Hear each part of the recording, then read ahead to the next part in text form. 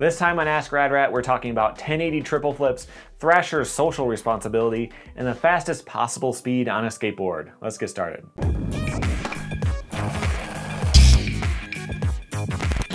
Hey guys, welcome back to Rad Rat Video, the channel where you can learn something new about skateboarding three times a week. Every Monday, Wednesday, and Friday, I post something new about skateboarding, either skateboarding culture, learning tricks, learning about skateboarding video games, anything in between. Um, this series is called Ask Rad Rat, where I answer your questions about skateboarding. So I've got three for you today. First one is from T Mids 13, who says, "Do you think people who are doing the most insane tricks, like 1080 triple flips, actually contribute something to the sport?"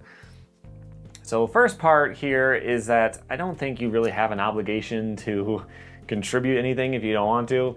Skateboarding is an art. You can go do it and just do whatever you feel like, whatever you enjoy doing. You don't have to publish videos. You don't have to do anything. Uh, you don't have a responsibility to contribute, but uh, I do think that it does uh, anyway. I think that um, seeing a guy out there spend 100 tries trying to do some crazy trick that he just flukes into landing can still contribute something. So you see that guy working on that 1080 triple flip, and then maybe you think, you know what? If he can do that, maybe I can do that 360 flip I've been struggling with. You know, or it sparks some other idea. You know, it makes you want to be the first to do this other thing that you decide to do. I think having more information, uh, seeing more things that are possible is always going to be a good thing. Um, so I know there are a lot of YouTube guys out there who just try to do a crazy thing to be the first one on paper to do it or something like that. But I don't think there's anything wrong with that, and I do think that it can inspire and it can uh, directly be something good. I think about the front foot impossibles. You know, those have been around for a million years. I have a video about the the Merlin twist right here, um, and how that's over 25 years old, but it suddenly became popular. You know, uh, that can always happen too. I don't think 1080 triple flips in particular are going to suddenly be popular and be in every video. Um, but you just never know. So going out there and experimenting with stuff is always good. Don't try to hold yourself back because you feel like you're not contributing or you're not pushing in the right direction. You always got to do your own thing. Second question is, what do you think of Thrasher posting content with behavior like this in it? This is from PW916. So Thrasher posts this kind of stuff from time to time, either fights or, you know, stuff with security guards and all that kind of stuff.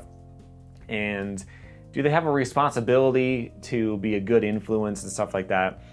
I don't think they really do, but there's nothing wrong with setting a good example. So I think about back when I was in high school, every kid who skated in my school dressed the same way. They had the same haircut. You know, your hair gets a little bit too long and it flips out. Like that was what was cool at the time. They had the same brands of shirts and hoodies and all that stuff. Very impressionable, right? Um, and so does Thrasher, knowing that there's a million kids like that going to their website, is are they doing a public disservice by showing that kind of stuff?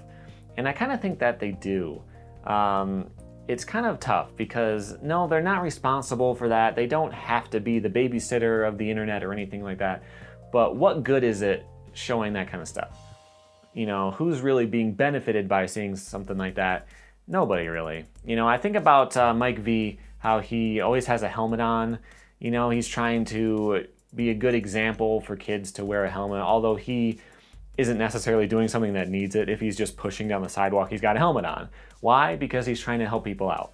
He's trying to be a good example. He's trying to have people be able to look up to him, especially kids um, who are impressionable and all that stuff. So, you know what? I think if Thrasher decided to not show that kind of stuff and take a stand and try to be a good example, I think that would be a positive thing. I don't think it really fits their image, and I don't think they would ever do that. And I don't think they're legally required to do anything like that. Um, but I do think that it would be good just to show more positive stuff. Um, but that might just be me. The third question is from Bagel Skate, who asks, What is the fastest possible speed on a skateboard? I came up with a couple different ways to answer this. First is the actual world records. First one I found was Mischo Erban, and he hit a top speed of just under 60 miles an hour, or about 96 kilometers per hour. This was on a motorized skateboard. So that's pretty crazy just on a flat ground going 60 miles an hour on a skateboard. Imagine uh, speed wobbles or worrying about rocks and cracks and that kind of stuff. Uh, that's crazy fast. But there's another record. This is Kyle Wester, who in 89.4 miles an hour, or about 144 kilometers per hour, and this was unpowered. So imagine going 90 miles an hour down a hill on a skateboard, just completely crazy. You better hope it's completely straight and you have some way to stop.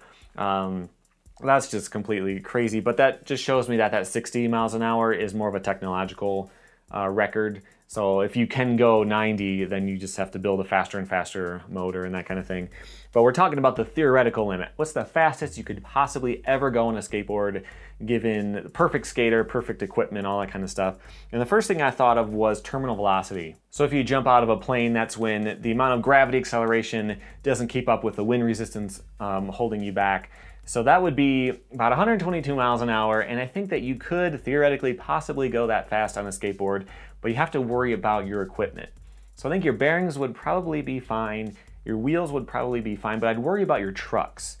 So if you think about the faster you go, the tighter your trucks would have to be, but they can't be solid. So if you're going 100 miles an hour and your trucks are a tiny bit loose, you start to turn a little bit, you start to get into a cycle of speed wobbles, and then next thing you know, you're dead. Um, but they can't be solid either because if you're a tiny bit off course, you have to be able to carve a little bit to get back on course. You know, you're on a very gentle curve. You still need to be able to turn a little bit. So I think that would be the bigger concern. But if that's all figured out, I think 122 is the physical limit. But for a human, anything over 100 is going to be pretty amazing. Uh, I don't know when we're going to see anything like that though. So that's what I was able to find for that. Let me know your thoughts about that below.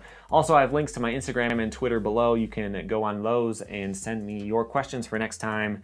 Um, and until next time, here's some more videos I did recently you might want to check out. I have a whole list of these Ask Rad Rat questions, but I have a bunch of other sorts of topics that you can check out as well. And make sure you hit my logo on screen right here to subscribe so you can keep learning new things about skateboarding three times a week. Thanks for watching.